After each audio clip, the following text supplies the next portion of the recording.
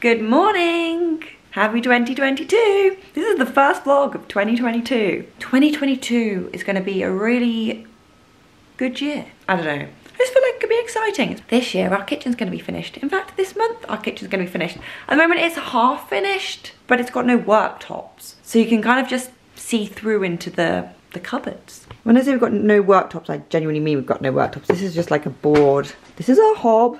I've been slow cooking things because we haven't got a hob. Lovely. So it's almost there, but it's not quite there. I'm going to the sim this afternoon, right? And I kind of just really want to be able to hit a really long drive today. I don't know, I've just kind of got that feeling.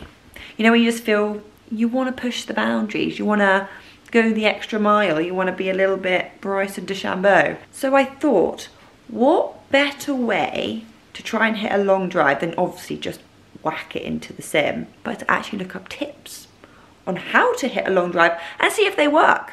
They may not work, they may work, but uh, I'll be pretty impressed if they do. Why would I not go into my long drive session with the knowledge that other people, actually that pros have tried and tested and it's uh, given them extra yardages on their driver. Anyway, we're gonna see if they work or if they don't work. Some of these tips might not even work, who knows? Or it might not even work for me. It might work for you, but it might not work for me because I'm a bit odd when it comes to my swinging, I think. Sometimes just things don't really work. We're gonna have a little look online, see what tips we can come up with, see if we've got any tips from Bryson, and maybe Kyle Berkshire, he's a long drive champion, isn't he? We'll see if he's got anything else to say.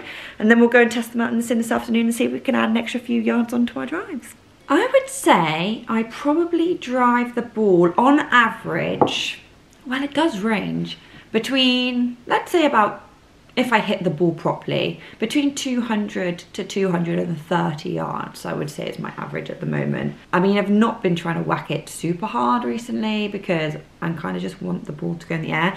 Basically, I've been focusing a lot on my irons, and whenever I focus on my irons, my driving is always really bad, when I do my driving, my irons get really bad, and I think it's all to do with like upward, downward hitting you know, golf you think is easy, it's not. Fingers crossed something here is gonna work. Okay, I think we're gonna go into this driving session with a lot of notes on my phone because I found quite a few tips that we can use. What have I found out we're gonna test? So we've got setup changes. I've kind of gone a little bit technical here. I think I delved I delved a little bit far into the golf world. So what I've come to learn, which is directly from Ping actually, but your driver ball speed and your angle of attack directly influence your launch angle, and the spin rate of the ball. What does that even mean? Good question, because I had no idea and I was like, what is this graph even saying? So for any mathematicians out there or non-mathematicians, it does make sense that depending on like the ball flight, there will be an optimum height trajectory of the ball. Actually, this is a really good one that I've learned from Justin Rose here. He basically says, depending on how high you tee up your ball,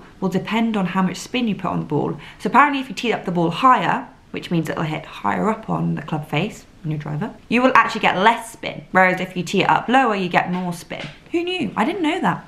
I now know that. What else have we learned? We've got Justin Rose says ball on the front foot. I think most of us know that. Wider stance, longer swing arc. Bryson says grip harder, which is actually quite interesting because apparently it's like your mind. Your mind thinks if you don't grip the club hard enough, then it's going to fall out of your hand if you swing really hard. So it only lets you swing so hard. So if you grip slightly firmer, then when you swing, your body will actually allow you to hit it further because you won't, well, it won't feel like you're gonna drop the club. That's an interesting one. Definitely we'll be trying that. So we'll, we'll try out those setup ones and then we've got some swing changes. Actually, this is from Tom Lewis, I asked him the other day. Um, he says it comes from the body, so we need to be swinging our body more rather than from our arms. Downswing faster. Actually, this was an interesting one Tom also said.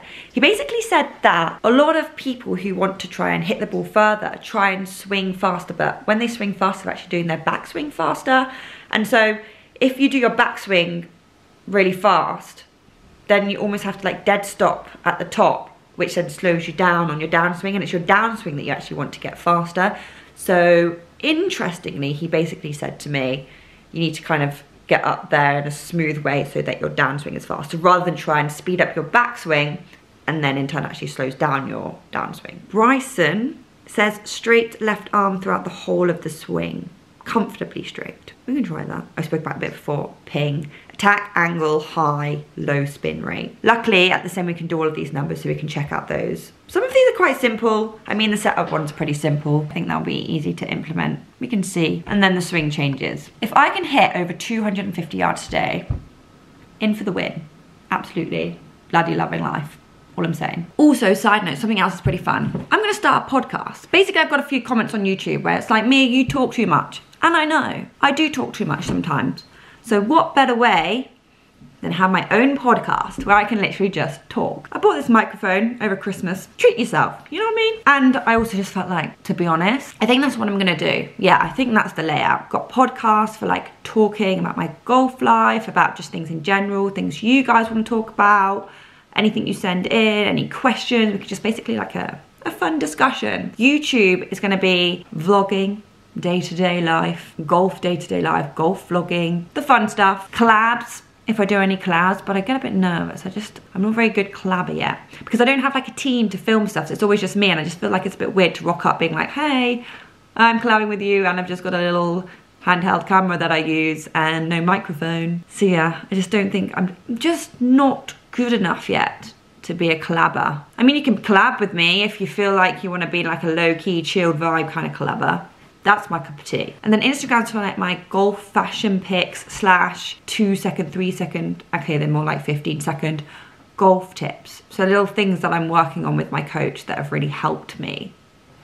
I think we got it nailed this year, guys. 2022. Absolutely nailed. Hello, it's Mia Baker here, and welcome to the very first episode of my brand new podcast called. We're calling it Unsussed. We're calling it Unsussed because my life is everything but sussed out. And I just feel like unsussed is like the perfect word for it, except I googled it and unsussed isn't a word, but it fits perfectly for this podcast. Anyway, Unsussed will be out probably in February because I currently do not have a laptop that allows me to both edit and also edit podcasts at the same time. So once I get my new laptop, which should be very, very soon, then I'll be able to start my podcast. Until then, goodbye. I think it's going to be great. Okay, so I thought I was being really clever using a lapel mic, thinking I was going to make the audio like really awesome for you guys, but turns out I actually don't know how to use a lapel mic and I've actually recorded no audio at all. So I am just going to be doing a little voiceover. Please forgive me. Mm, yeah, I got it wrong. Before I started my long drive session, I basically wanted to get to grips with my yardages from 0 to 100 because I always do a pitch and putt session at the end of every session. And if you watch the end of this video, you'll know exactly why it's so beneficial to do something like this. And I wanted to write it in a book rather than on my phone because I use my phone for so many things and it just makes sense and it's just so much more convenient. And I would, yeah, highly recommend. The first drive I did, I kind of made a conscious effort to do the basic standard driver stuff, which is wider stance, ball off the front foot. I can't actually change my tee height in here, but I think that's something I could try maybe in future on the course. I kind of wish you could hear the ball hitting sound because I really like that sound. But anyway, I kind of hit the same distance drive as I normally would just because it's what I usually do already. This was about 197 yards. Let's just say 200. Okay, so obviously both of those tips work really well. We all know that. It's kind of, you know, the basics. But I really wanted to try the interesting ones. One that I really did want to try was the longer swing arc and straight left arm. Basically a tip from Bryson DeChambeau. I just feel like he must know something. He hits them really far. So in this swing, I thought, okay, I'm going to keep the same tempo, but I'm going to make my left arm as straight as possible and try and get that long swing arc.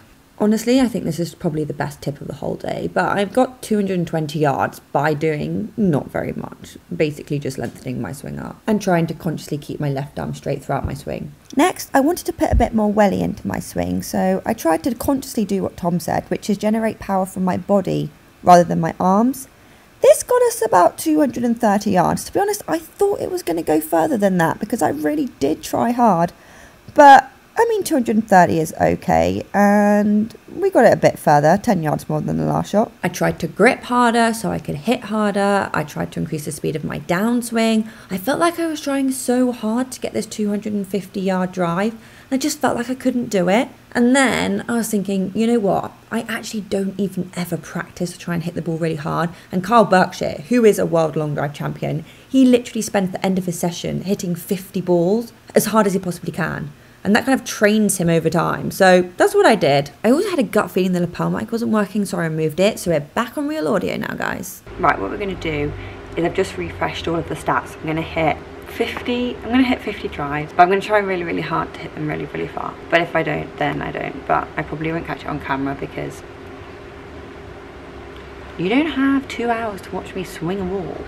So I'll catch up with you once I'm done. I think I underestimated how tiring hitting 50 balls really hard would be. But yeah, I've only done 27 and I'm literally sweating so much, especially when you do air shots. That takes a lot of energy out of you and I've done quite a few air shots. And then my dream came true. My 250 yard drive happened. I got 259 yards and a 230 yard carry. I hit the sweet spot on the club face. Oh my god, I felt like an absolute boss, a legend. And now I need to somehow replicate it, which is something I've not quite cracked, but I know I have the capability to do it, which is a win. Okay, I've just finished hitting 50 shots, which has kind of killed me. I'm like, that is hard work, you know. I missed a lot of those. When Kyle Berkshire said spray it, I'm hoping this is what he means because my shots were all over the place.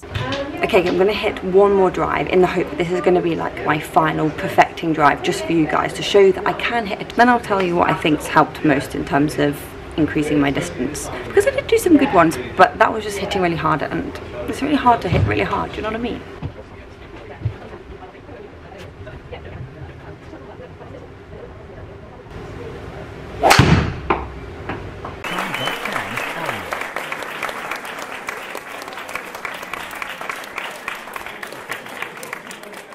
I actually started teeing up again because I didn't even realise that I hit over 250 yards on that one. Genuinely, how lucky was that that I actually managed to get it when I said I was going to get it for you guys?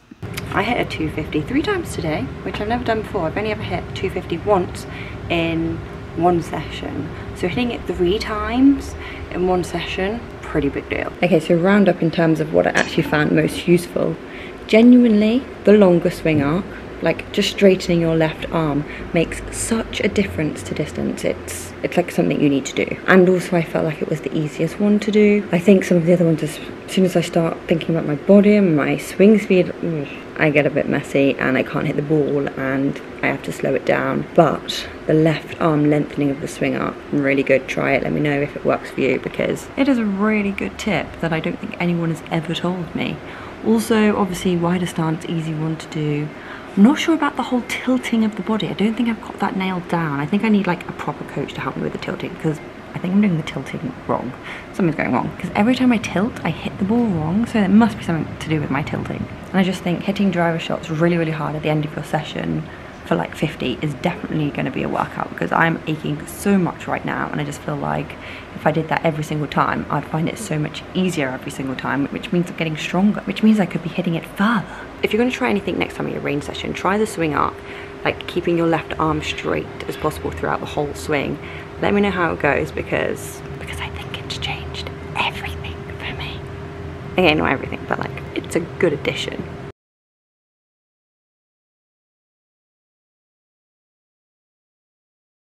So I do like pitch and putt at the end of my sessions. I've just got my very first digital hole-in-one, no word of a lie. This is the most exciting thing that's ever happened to me. This is the evidence I actually got a hole-in-one on pitch and putt on hole 17 on January the 4th, 2022.